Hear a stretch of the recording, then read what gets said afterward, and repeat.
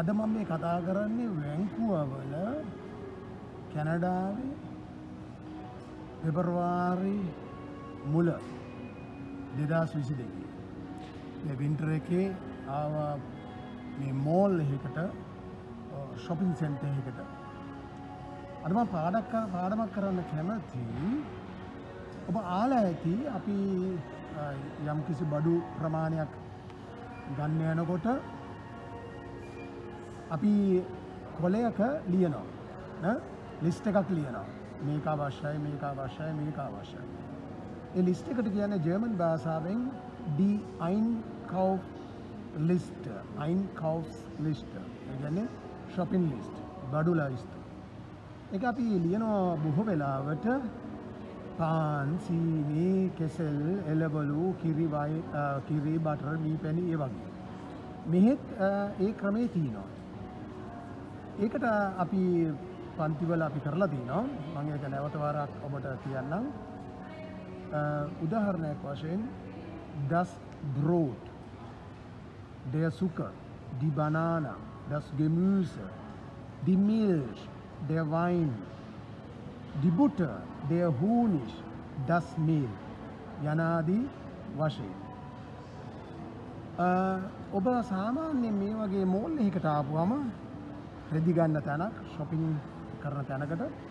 ඔබ මේ ශොප් එකට ඇතුල් වුණාම ඔබගින් අහනවා වෙළන්දෝ නැත වෙළඳියන් ඔබ කුමක් ස්වයන්නේද කියලා. එක ජයමන් භාසාාවෙන් කියන්නේ සී වුන්ෂන් බිට නැත්තං අහනවා ඔබට අවශ්‍ය මොනවාද? ඔබ කුමක් ස්වයන්නේද ඔබ මොනවද බැලුවේ? ඔබ මොනවද බලන්නේ නේ? ඒකට ජවන් භාසාාවෙන් කියනවා වස් බෙකොමන්සි නැතම් වස් සූකන්සි යම් කිසි දෙයක් බඩුවක් අතර ගත්තාම ඒ වෙළඳා අහනවා. ඔබට මේක ඇඳල බලන්න කැමතිද? නැත්තං කෑම සම්බන්ධව ඔබට මේක රස බලන්න කැමතිද? ඒක කොහොමද කියන්න? ඒකට කියන්නේ මෙස්ටන්සි පොබියරන් නැතම් මෙස්ටන්සි එස් පොබියරන් නැතන් ඩස් පොබියරන් ඊට පස්සේ අහන ඔබට තව යම කුවමනාද ඒ කියන්නේ ඒ හැඟීමෙන් ඔබට තව යමක් වුවමනාද? ඒ කියන්නේ ඔබ තවක් සොයන්නේ තව යමක් සොයන්නේද? නොක් ඇට්වස් යනාදී වශයෙන්. නැත්තම් ඔබ මාළු නැත්තම් චීස් ඒ වගේ තැනකට ගියාම අපි කියමුකෝ තුන පහ. ඒ වගේ තැනකට ගියාම ඔහු තරාදියට දානවා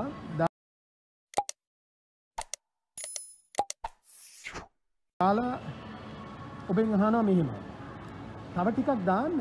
තව ටිකක් මේ බෑග් එක ඇතුළට දාන්නද? ඒක කොහොමද කියන්නේ?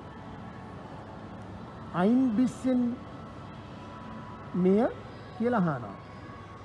නැත්තම් ඔබ දැක්කොත් ඒ ප්‍රමාණය ඔබට මදි කියලා අපි කියමු ග්‍රෑම් 100යි දාන්නේ. දැමුත් ඔබට ඕනේ ග්‍රෑම් 200ක් නැත්නම් 300ක්.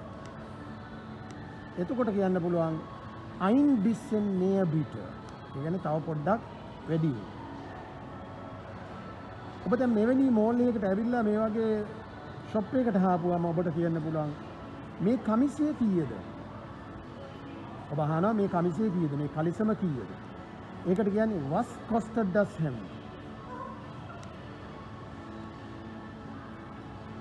මම මේ ඇඳුම මිලදී ගැනීමට කැමති ඔබ කලිසමක් දැකලා ෂර්ට් එකක් නැත්තම් ඔබ බ්ලවුස් එකක් දැකලා ඔබ අහනවා මම මේ ඇඳුම මිලදී ගන්නට කැමතියි. කැමැත්ත පළ කරනවා මිලදී ගැනීමට.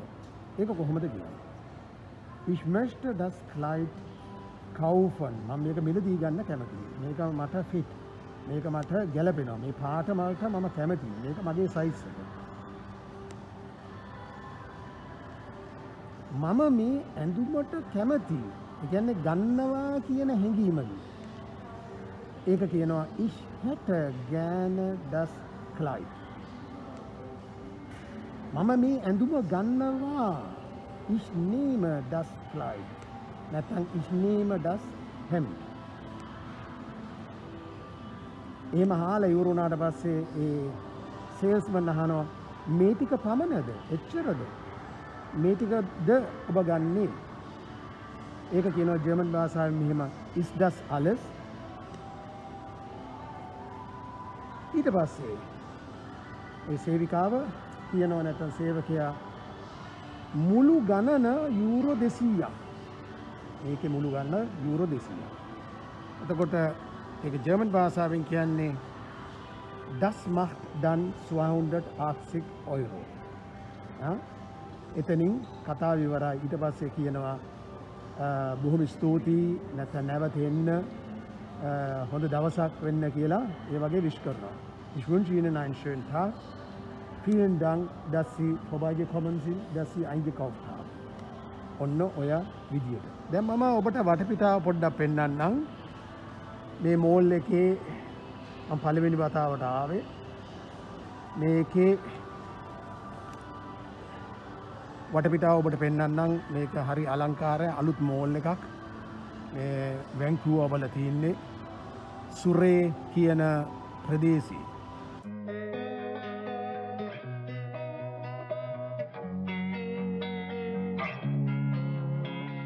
Losing time, I'm fading fast. I just wanna make it last Try to let go of the past. I close my eyes, embrace the blast. Sleepless nights and headaches stack. Restlessness to hell and back. What's my purpose, what do I grab? A slippery surface, a heart attack. And sometimes you just gotta believe There's something that'll give you relief. There's something that'll have what you need what you need. We're broken, tragic, we're not all elastic, but maybe there's magic. Believe you could have it, and I know of sadness, the anxious and panic, the infinite